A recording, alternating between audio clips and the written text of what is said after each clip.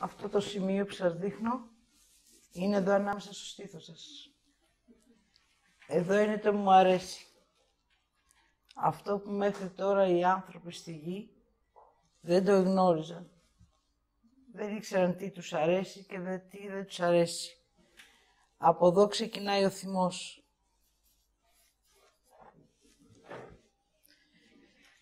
Όταν γεννιέσαι,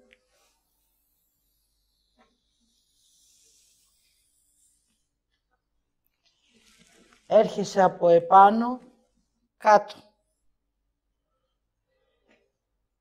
Έτσι ο Θεός δημιούργησε στο κέντρο του ανθρώπου ένα σημείο που να αναγνωρίζει τι του αρέσει.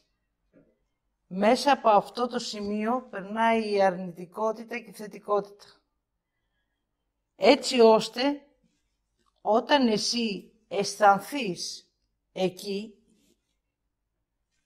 την άρνηση, θα συμβεί ο θυμός και θα αρχίσεις να χτυπάει η καρδιά σου και να νιώθεις βάρος στο στήθος. Εδώ είναι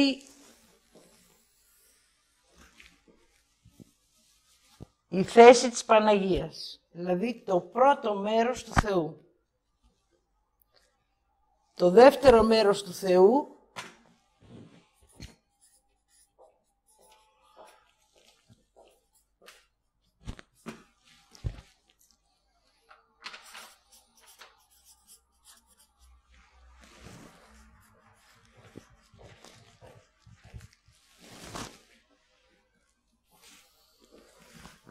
και η ολοκλήρωση.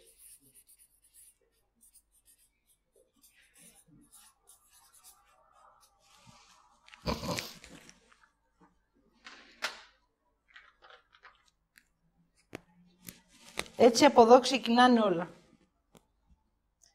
Αν κάτι δεν μου αρέσει, η πρώτη αίσθηση είναι ο θυμός. Έτσι λοιπόν την ώρα που ο Θεός αφήνει μια ψυχή στη γη, την αποκόβει από το πνεύμα της και την αφήνει να περπατήσει. Άρα τι κάνει, το πνεύμα το επιστρέφει εδώ. Και λέει ο Θεός, θα περπατήσεις πρώτα την άρνηση, δηλαδή από την ψυχή σου στη θέληση και από τη θέληση στο νου, Όλο αυτή είναι η άρνηση.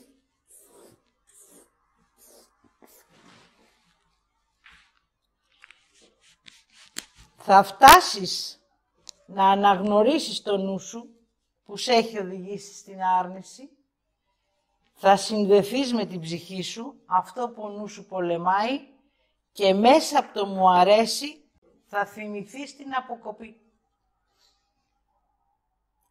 Εκείνη τη στιγμή που αποκόβεται η ψυχή από το πνεύμα, δεν της αρέσει. Έτσι λοιπόν, μέσα από το «δεν μου αρέσει», περπάτησαν οι ψυχές στη γη. Και τώρα, λέει ο Θεός, ξεκινάει η επιστροφή από την ψυχή στη λογική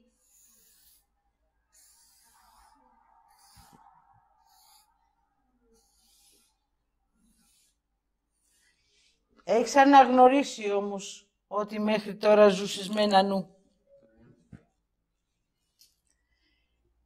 Μέσα από το μου αρέσει θα θυμηθείς το θυμό σου. Έτσι υπάρχει ο καταστροφικός θυμός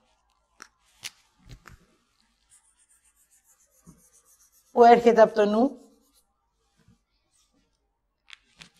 και υπάρχει ο εσωτερικός σου θυμός που πάει στην ψυχή.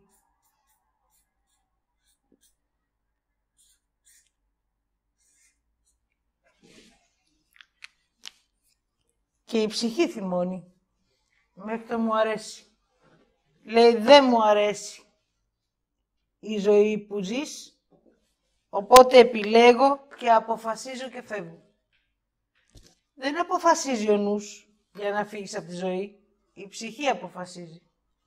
Όταν θα αποφασίσει ο νους, εσύ θα έχεις χάσει κάθε λογική, θα την έχεις χάσει τη λογική σου, οπότε η ψυχή είναι μετέωρη. Και έτσι γίνεται η αυτοκτονία και χάνεται η ψυχή.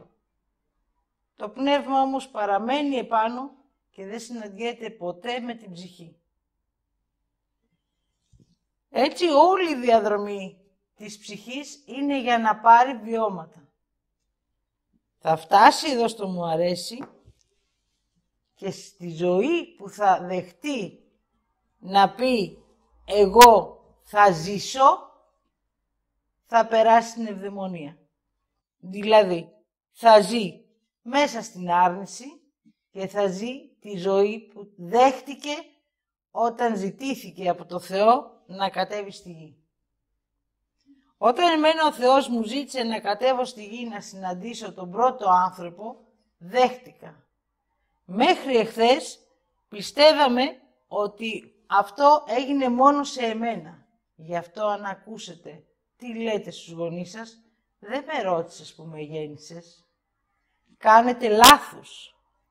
Ρωτηθήκατε από το Θεό και είπες, εγώ θέλω να κατέβω στη γη και να είμαι αδύναμος, να είμαι δυνατός, να είμαι τίποτα, να είμαι λίγος, να είμαι πολύς.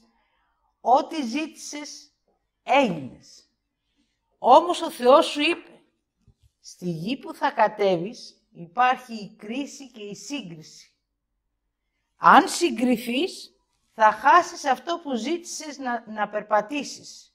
Και αν το κρίνεις, θα χαθείς. Και εσύ το δέχτηκες. Η δεχτικότητα όμως είχε μείνει επάνω στο Θεό μαζί με το Πνεύμα. Οπότε τώρα ο Θεός λέει, δείτε το θυμό σας. Ο ένας είναι ο κατασκευαστικός που έρχεται από το νου σας, θυμώνεται με πράγματα που δεν έχουν αξία και δεν σας αγγίζουν, απλά δεν σας αρέσουν. Ο λόγος που δεν σας αρέσουν είναι γιατί δεν γνωρίζετε τι σας αρέσει. Είστε ακόμα στην άρνηση. Οπότε όταν θα πας προς τη θετικότητα,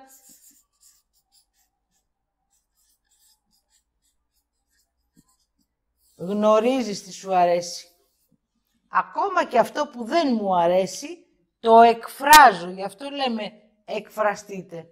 Αυτό δεν μου αρέσει και μένω στη θέση μου. Όταν εκφράσω το δεν μου αρέσει, δεν υπάρχει θυμός. Γιατί είναι μέσα από εμένα. Έρχεται μέσα από το γνώριμό σου. Το γνώριμο είναι εκεί που είναι ο αφαλός σου. Άρα όταν εγώ γνωρίζω τι μου αρέσει και τι δεν μου αρέσει, ο νους δεν θα μπορέσει να με βάλει στον κατασκευαστικό θυμό. Έτσι λοιπόν θα πάρω το θυμό που μου έχει δώσει ο Θεός μέσα από την ψυχή μου και τι θα κάνω; Θα προστατέψω εμένα και το δρόμο μου. Εκεί θα αναγνωρίσω ότι αυτό που πας εσύ να μου κάνεις είναι η δική μου άρνηση. Άρα την άρνησή μου θα την κάνω θετικότητα μέσα από το θυμό μου και από το μου αρέσει και δεν μου αρέσει. Έτσι η λογική θα ενεργοποιηθεί μέσα από την ψυχή σου, γιατί η λογική σου υπάρχει. Αλλά όσο εσύ βρίσκεσαι στην άρνηση, υπακούς στο νου σου. Έτσι η λογική, επειδή δεν έχει ένταση, η λογική έχει μόνο γαλήνη και είναι μονολεκτική. Θα σου πει ναι ή όχι. Οπότε όταν εσύ θα ολοκληρώσεις αυτό που λέγεται μου αρέσει και δεν μου αρέσει, το ναι ή το όχι που θα ακούσεις από τη λογική σου θα σε πάει κατευθείαν στη διαδρομή του μέρους που έχεις αποκολληθεί από το Θεό. Οπότε λέει ο Θεός, φόβος. Αυτός ο φόβος που έγινε για το θέλω σου, για να μπορείς, σου λέει, να αναγνωρίσεις τις επιθυμίες που σου κατασκευάζει ο νους. Αυτές δεν έχουν φόβο. Είναι αέρας, είναι φαντασίωση. Θέλεις τα πάντα και τίποτα. Εδώ όμως το θέλω, έχει δύναμη. Για να μπορέσεις λοιπόν να το ξεχωρίσεις, λέει ο Θεός, εγώ σου δίνω φόβο, ένα μάγκωμα είναι, για να μπορείς να δεις τι θέλεις. Άρα παίρνεις χρόνο. Θέλω και κάνω. Και αφού το κάνω, τότε θα συνειδητοποιήσω ότι το δικό μου θέλω πραγματοποιείται. Αυτό είναι και το θαύμα. Αφού το θαύμα βέβαια ενωθεί με την ανάγκη.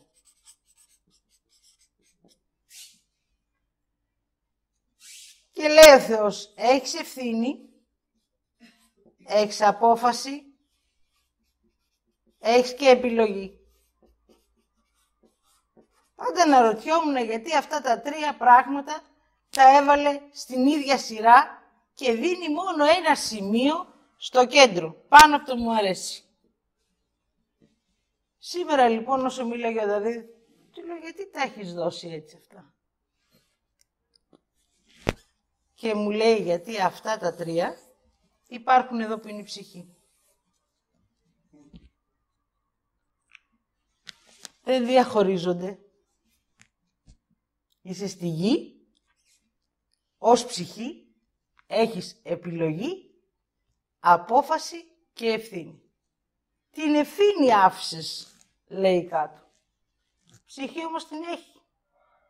Και λέει, δεν μου αρέσει αυτό που ζω και φεύγω. Και με αυτή την ευθύνη η ψυχή ξαναεπιστρέφει στη γη. Λέει, θα πάω να ξαναδοκιμάσω. Μου δίνεις θεϊκή ενέργεια να κατέβω στη γη.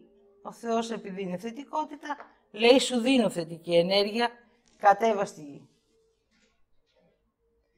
Και έτσι η ψυχή έρχεται για να μπορέσει να φτάσει σε αυτό που ζήτησε όταν δημιουργήθηκε. Είτε να γίνει βοηθός, είτε να γίνει βασιλιάς, είτε να γίνει η άρνηση, ο άσχημος, ο όμορφος κτλ. Μέχρι η ψυχή να το ολοκληρώσει αυτό, θα πηγαίνω έρχεται στη γη. Βέβαια από πού; Δεν μπορεί να πάει στο Θεό και να ξανάρθει στη γη. Αυτό ξεχάστε το. Θα πάει στην Άβυσσο, που θα την οδηγήσει ο νους, για να ξανακατέβει στη γη. Όταν κατέβει στη γη και πει εγώ μου αρέσει να επιστρέψω στο Θεό, τότε θα αρχίσει να κάνει τις διαδρομές της θετικότητας. Θα ξανακατέβει στην Άβυσσο, αλλά τι θα κάνει στην Άβυσσο, θα περάσει τη θετικότητα που η ίδια έχει δεχτεί στη γη. Και όταν φτάσει στην Άβυσσο, θα αντιμεταφέρει εκεί και οι ψυχές θα ζητήσουν μετά να πάνε να βιώσουν τη θετικότητα. Έτσι θα γίνει η επιστροφή των ψυχών προς το Θεό. Μην πιστέψετε ότι αύριο θα πεθάνετε και θα πάτε στο Θεό. Δεν έχει συμβεί αυτό παρά μόνο από την Παναγία και τον Κύριο και από τον έναν από τους ληστές. Άρα τώρα αρχίζει η επιστροφή. Εάν ολοκληρώσεις, γι' αυτό και έχουν έρθει και όλοι οι Άγιοι σε εμψύχωση. Έχουν γίνει άνθρωποι. Γι' αυτό έχουν έρθει και οι προφήτες. Γιατί ήταν άνθρωποι, ήταν ψυχές. Μην κοιτάτε που εμείς τα έχουμε κάνει όλα υπέρβαση. Όλα συνέβησαν, όλα γράφτηκαν και τώρα ο Θεός ξαναγράφει από την αρχή την αλήθεια. Άρα, σαν ψυχή, εάν αναγνωρίσεις και αφήσεις την άρνηση, τότε θα περάσεις στη θετικότητα για να μπεις στη δεχτικότητα. Με τη δεχτικότητα θα επιστρέψεις. Όπως είναι η θέληση που σας είπα και πάει στο θέλω και έχει τη δύναμη, με την ίδια διαδρομή θα επιστρέψει η ψυχή στο Θεό. Θα φτάσει βέβαια στο πρώτο μέρος, που είναι η Παναγία, Θα αφήσει εκεί τους φόβους της, τα θέλω της, το ό,τι έχει κάνει στη γη, την εμπιστοσύνη που θα την έχει ολοκληρώσει, την αγάπη που θα την έχει βιώσει, θα τα αφήσετε όλα στο μέρος που είναι η Παναγία. Εκεί θα, θα ε, συνειδητοποιήσετε τη γέννηση. Θα γίνει η πλήρη μνήμη της γέννησης από το Θεό στη γη. Θα πάτε στον Κύριο και θα αφήσετε τη λογική και την ψυχή και το δαμάντιο φως και την νόηση. Θα πάρετε το πνεύμα σας, θα ενωθείτε με το πνεύμα σας και θα πάτε στο Θεό. Ολοκλήρωσα, Θεέ μου, αυτό που σου ζήτησα στη γη. Και θα ξαναγίνετε ένα με εκείνον. Αυτή είναι η διαδρομή μας. Μην κοροϊδεύετε τον εαυτό σας, μην χαλάτε τη ζωή σας, ζήστε και μη φοβάστε να ζήσετε. Μη φοβάστε να κάνετε λάθος. Μη θυμώνετε με τους άλλους. Αυτό που σας θυμώνουν οι άλλοι είναι η αλήθεια που κρύβεται μέσα σας. Ο Θεός είναι εκεί. Γιατί δεν κινείται ο Θεός, γι' αυτό θυμώνουν οι άνθρωποι. Γιατί δεν κινείσαι να έρθεις κάτω να μας πεις τι θα κάνουμε; Και ο Θεός λέει, μα έρχομαι. Σας στέλνω τον Δαβίδ, τη Χριστίνα, τον Γιώργο, τον Γιάννη, τον Κώστα, τον Μίτσο. Και τι κάνουν αυτοί; Καθένας έχει το δικό του έργο. Για να ολοκληρωθεί αυτό, χρειάζεστε όλοι. Άρα όλοι έχουμε ένα έργο στη γη. Μα εσύ θα κοιτάξεις το χάρισμα της Χριστίνας και θα ζηλέψεις γιατί δεν έχεις αυτό που έχει η Χριστίνα. Ναι, αλλά εκείνη την ώρα αρνείσαι αυτό που έχεις να έρθει να κάνεις εσύ στη γη. Και θα θυμώνεις βέβαια, γιατί Θεέ μου δεν με έκανες μία Χριστίνα, μα εσύ ζήτησες αυτό, να είσαι. Δεν ζήτησες αυτό. Αλλά δέξου αυτό και έλα μπε στη θέση σου. Και γίνει αυτό.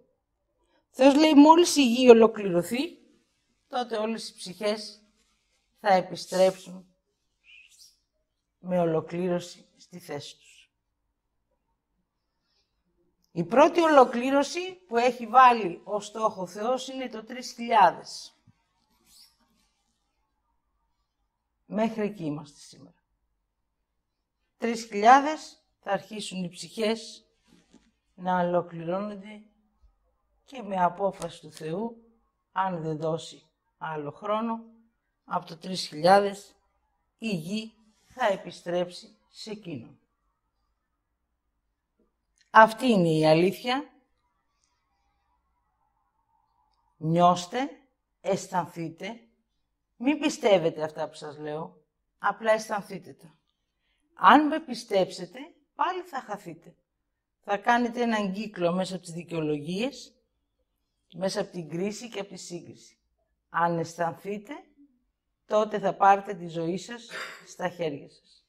Για να φτάσετε να ζήσετε την ευδαιμονία στη γη όπως ο Θεός τη δημιούργησε και όχι την αδημονία που αλλάχτηκε όταν έφερα τον Αδάμ στη γη. Αυτό που έκανα τότε και πήγα και έφερα ως άγγελος τον Αδάμ στη γη, ο Αδάμ θα κάνει το ίδιο από την Άβυσσο να φέρει τις ψυχές στη γη για να περάσουν οι ψυχές να ολοκληρωθούν και να επιστρέψουν στο Θεό. Είναι ακριβώς η ίδια διαδρομή, όπως μας τα έχει πει, όπως μας τα δείχνει και όπως τα ζείτε. Αν ακούσετε τις πραγματικές εκφράσεις που λέτε, με τι θυμώνετε και τι εκφράζετε στους άλλους, θα δείτε τις αλήθειες που έχετε αρνηθεί. Αυτά μέχρι σήμερα. Το μου αρέσει να ξέρετε ότι πριν από τρία χρόνια ούτε καν το γνωρίζαμε ότι υπήρχε μέσα στον άνθρωπο. Λέγαμε ότι κάτι μου αρέσει, δεν μου αρέσει, αλλά αυτό ερχόταν μέσα από το νου, μέσα από τη σύγκριση. Αυτό το μου αρέσει που έχει δημιουργήσει ο Θεός δεν έχει σύγκριση, σύγκριση έχει αίσθηση. Το αισθάνεσαι. Εάν έχει σύγκριση δεν είναι μου αρέσει, είναι ζήλια. Μην μπερδευτείτε. Γι' αυτό και σας το ξεκαθαρίζω. Αυτά από μένα.